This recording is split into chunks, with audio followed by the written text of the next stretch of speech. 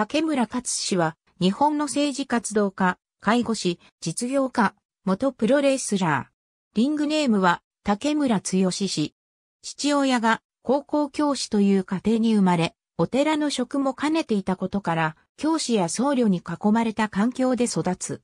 当時一大ブームであったプロレスにも熱中し、タイガーマスクの登場に衝撃を受ける。カメラマンを目指し、大阪芸術大学写真学科に入学するも、その後中退。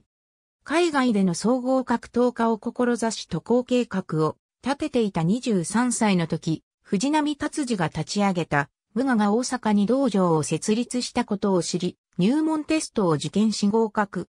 1997年7月22日、無我博多大会における対、アレクサンダー大塚戦でデビュー。デビュー後は格闘探偵団バトラーツ、レッスル夢ファクトリーのリングへ上がりつつ、メキシコのインルへ参戦した。2001年2月に新日本プロレスに入団。新日本プロレスでは、ジュニアヘビー級で実績を積んだ。新日本プロレス所属中も2002年4月から途中、1ヶ月の一時帰国を挟んで2003年8月まで長期メキシコ遠征を経験している。メキシコでは西村治とのタッグや野沢、マザダとの東京グレン隊として活動した。2003年8月の新日復帰以降は邪道、下道と組んで行動した。2004年7月3日からは CTU の一員となって活動。9月9日の登竜門 X の興行では、ウは世界6人、タッグ王座を獲得している。12月12日、西村の度重なる説得により CTU を脱退、本体に復帰した。2006年1月28日、新日本プロレスを退団。2004年7月4日、全日本プロレス初参戦で、野沢、マザダと合流し、オリジナルの東京グレン隊を復活させ、その勢いで7月18日、和林が保持していた世界ジュニア王座に挑戦。王座獲得はならなかったが、2004年末まで全日マットにスポット参戦した。2006年2月に01マックスへ数試合ほど参戦し、東京グレン隊として暴れる。その後は妻子を妻の実家へ戻らせ、西村と共に海外遠征へと出発。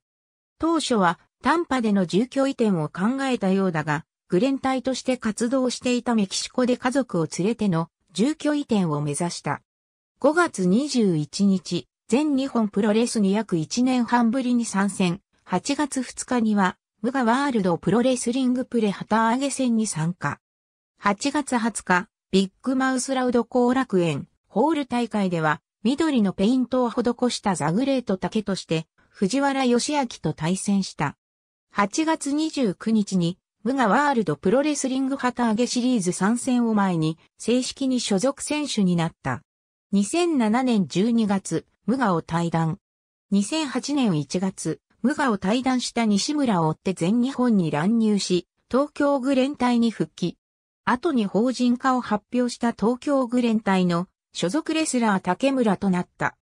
2008年1月以降、全日本に西村との一騎打ちを要求。4月20日の後楽園大会で西村とのシングルマッチが実現するも敗北した。